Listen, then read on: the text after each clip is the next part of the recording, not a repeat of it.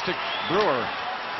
And he just waits and lost it in there. A first backhand and a good save by Desjardins.